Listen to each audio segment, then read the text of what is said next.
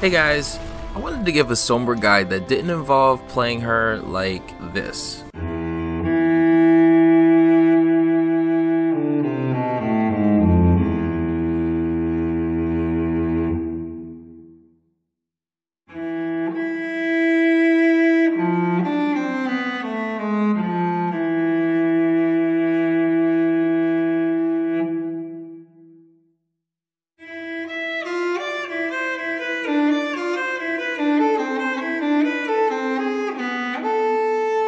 So these tips are based on my own experience with her, and this is just how I feel she should be played, but that's always up for debate because Sombra is a tricky hero. So let's get started for my tips on playing Sombra.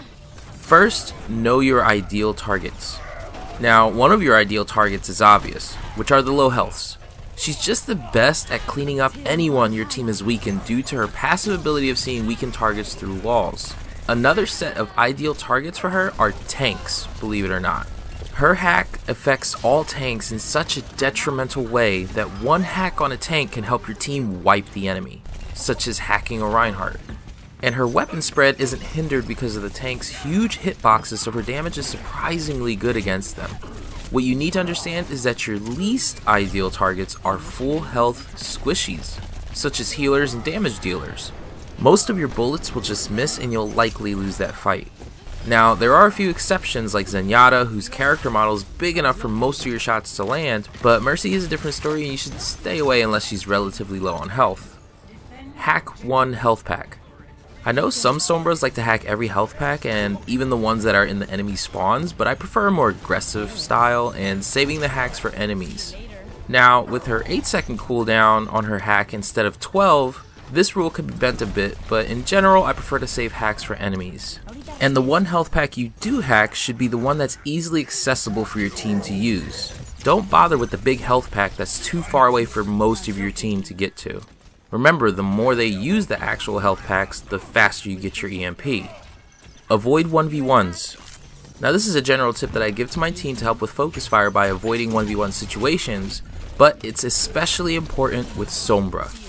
Because her time to kill is so slow, you really can't ideally take anyone out fast enough in a 1v1.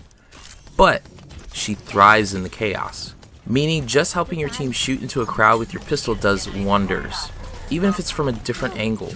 Sombra is the queen of getting assists, and that's how you should think when trying to take targets out. As large as her spread is, it's actually really easy to land shots, so she will finish off low targets even at a distance. Using abilities off cooldown.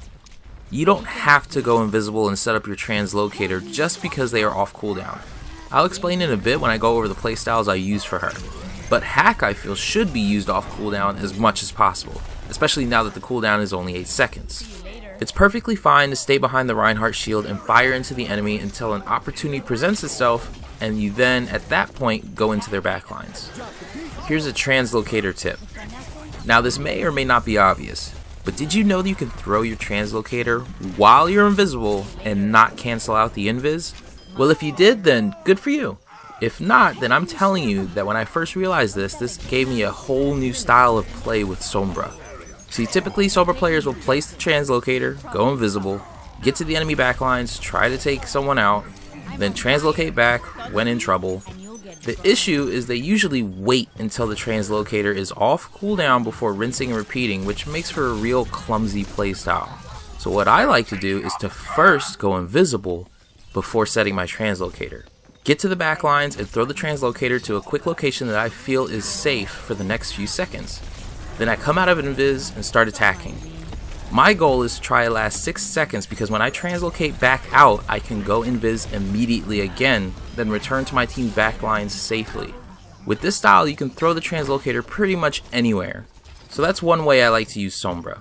So I'd like to quickly go over a few play styles I like to use with Sombra. The first one I already mentioned, getting to the backline, setting up your translocator for a quick exit, and trying to last at least 6 seconds so you can go invisible again once you teleport out of there and get to proper safety. Since a lot of the times your translocator will not be in the most ideal of spots, but this style allows for you to stay on the enemy backlines for a long time without fully retreating. This other playstyle works well on defense and not only attack, which is to stay behind your team's Reinhardt shield and attack from the front lines like everyone else. Then, when someone is low or you see an opportunity, you plant a translocator right in the middle of your team, behind the Reinhardt shield, go invisible, and push onto the target you have chosen. Then quickly teleport back and continue attacking on the front lines. This playstyle has more deliberate invis and translocator usage than just using it off cooldown every time. The last playstyle is similar to the one I just mentioned, but one difference, and that difference goes against what I said earlier about hacking only one health pack.